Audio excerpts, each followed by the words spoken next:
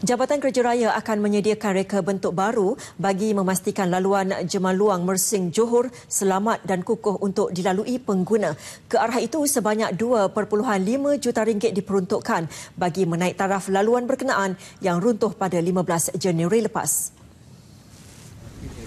Menteri Kerja Raya Datuk Seri Fadilah Yusof berkata ia sebagai penyelesaian jangka masa panjang laluan berkenaan.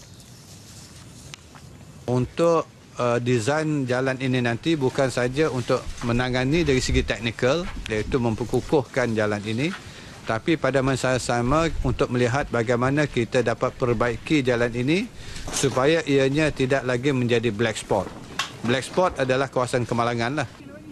Beliau berkata demikian ketika melakukan lawatan ke laluan berkenaan yang telah dibuka semula kepada semua jenis kenderaan bermula hari ini.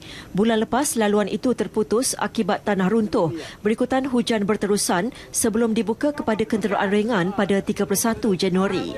Jelas Datuk Seri Fadilah, kementerian juga akan mengemukakan cadangan ke unit perancangan ekonomi untuk membuat jalan pintas Mersing ke Kuantan melalui jalan kampung bagi mengurangkan kesesakan lalu lintas lintas di Bandar